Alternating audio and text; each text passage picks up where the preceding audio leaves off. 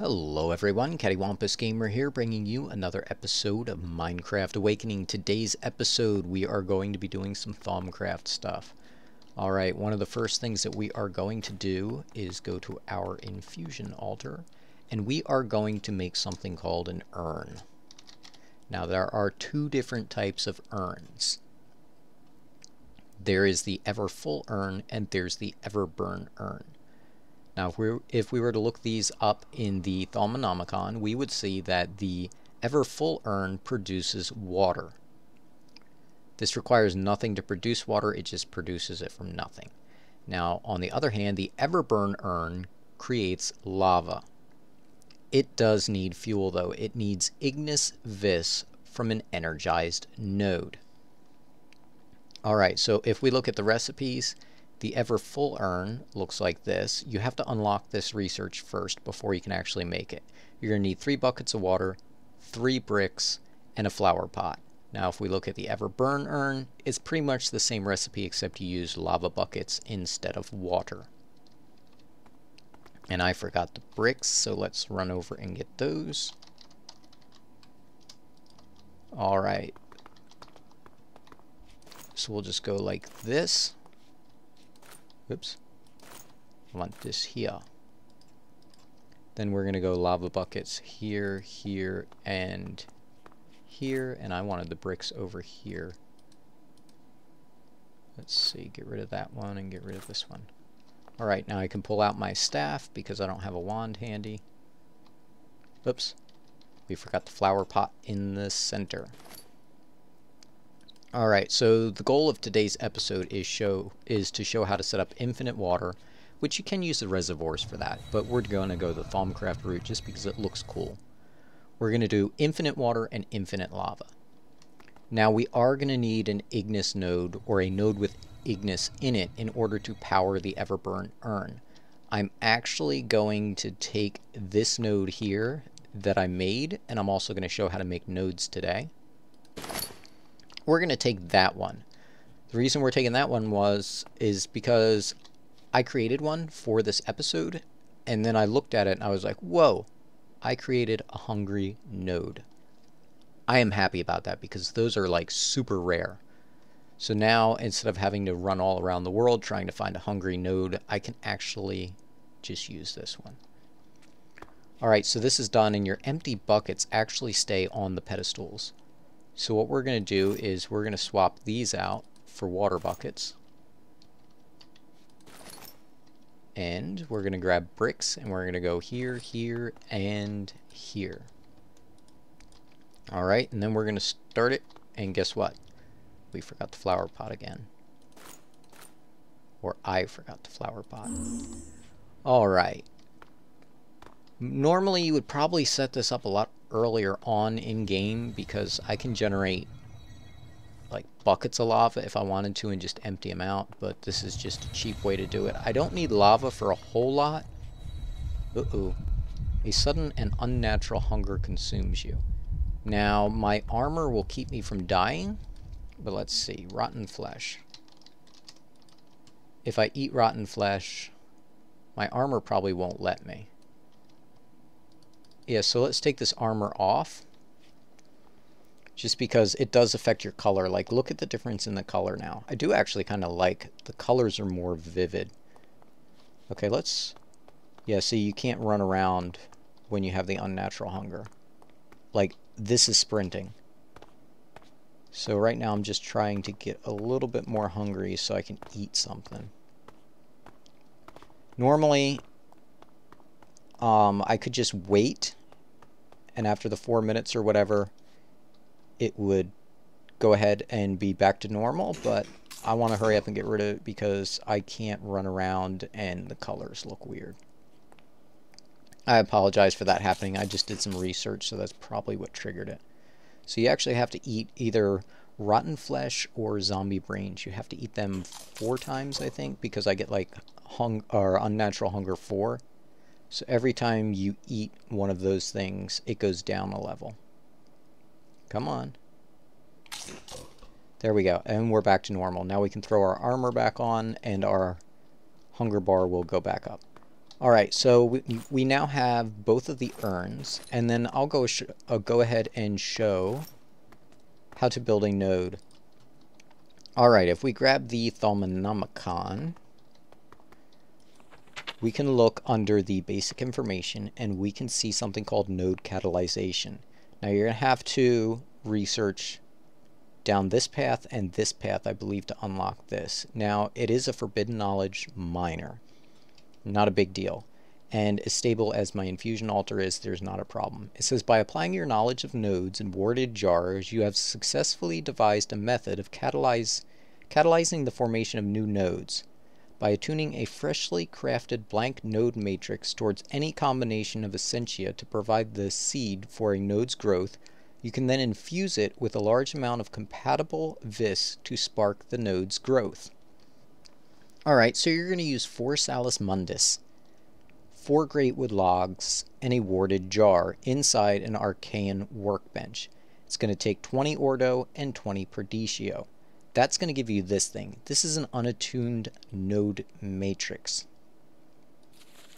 Alright, then what you can do is you can take it, like say you want a node, just an Ignis node. This is what I did. You just take eight vials of Ignis and put them around it. And that will give you an attuned node matrix. Ingots, Ignis, you know what? I'm just going to start over. Attuned node matrix. Ignis times 8 all right, now over here, these are the six different aspects, and you can see the node has Ordo times 1, Aqua times 1, Ignis times 1, Terra times 1, Perditio times 1, Air times 1. All right, now if we were to take it and we go to the next page, you can see the one that has all of them, you're going to need 150 of each um, Essentia to pump into it, and you will get a node that has 15 of each aspect. Alright, now if we take that node that had 8 in it, the 8 Ignis, we're going to need 1200 fire aspect. And we're going to get an Ignis node with 120.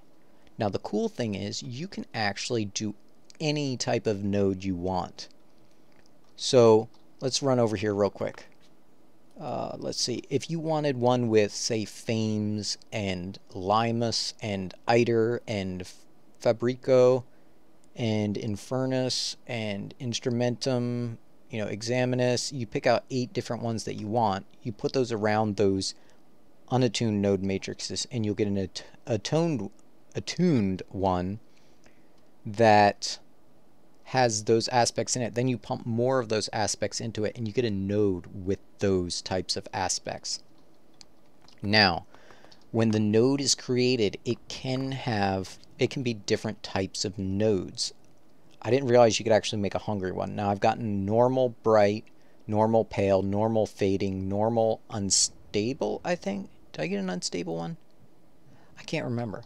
But anyway, so what you're going to do is you're going to make sure, first of all, that you have enough of the aspects that you need. In this case, we need Ignis, and I can look, I got 10,000 Ignis.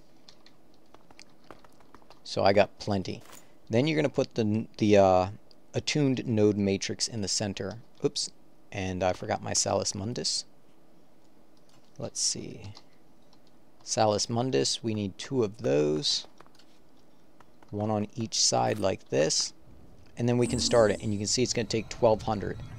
Now the reason I say you want to make sure you got it all in here, if you're not pumping the aspects into it, it will start to become more and more and more unstable. It'll start exploding stuff, blowing stuff off the pillars, creating flux all over the place. I figured that out a couple of episodes ago when my infusion went wrong. Alright, so now what do we do? I have some extra Everburn urns that I made ahead of time, and I got a couple of Everfull urns. So what we're actually going to do is we're going to run over here, and I'm going to use this area right here. Let's see, I'm going to put a node transducer right here. I'm going to put a node stabilizer there. I'm going to put my node there. Alright, and then, oops, I'm getting a lag spike. Then we're going to wait a few seconds. Now, this should be decent for the Everburn urns once it gets stabilized. So then what we're going to do is we're going to take the Everburn urns and we're going to put them down right here, here, and here.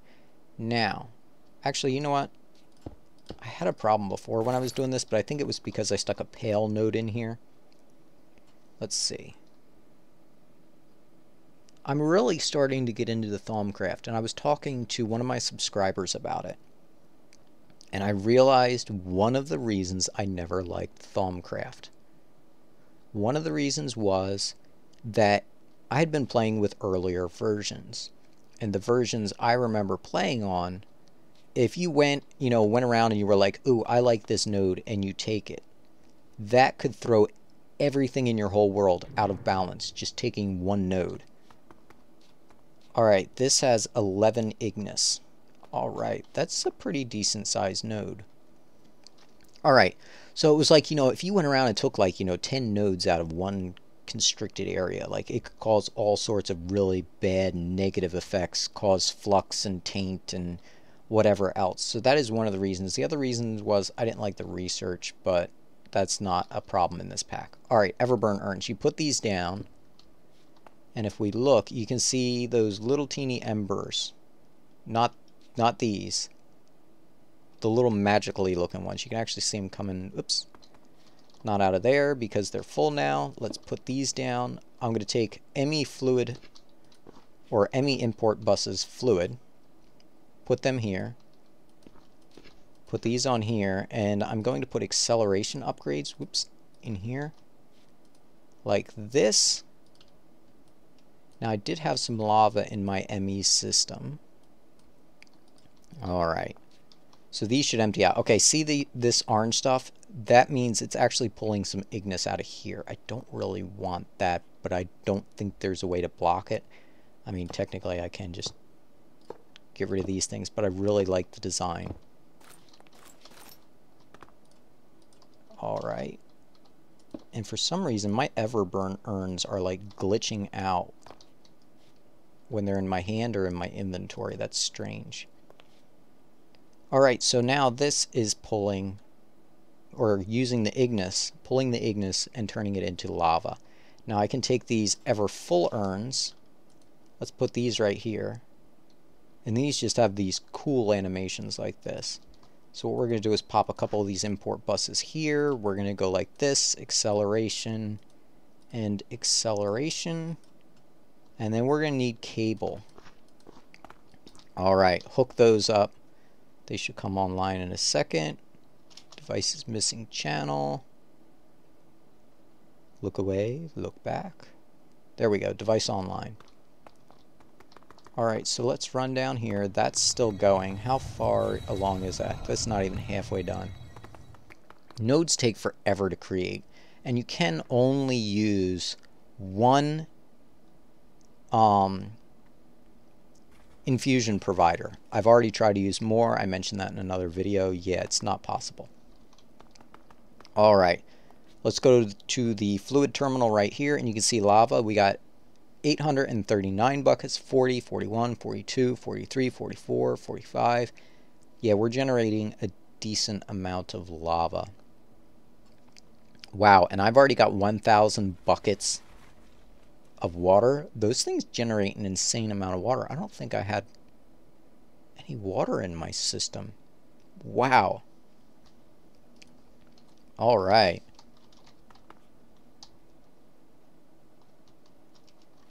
Hmm. Yeah, this is going to take a while. Nodes take quite a long time, like I said, to make. I wish you could accelerate those. Alright. We set up infinite lava, infinite water, and we showed how to make nodes. I think that's going to do it for today's episode. So until next time, this is Caddywhumpus Gamer signing off.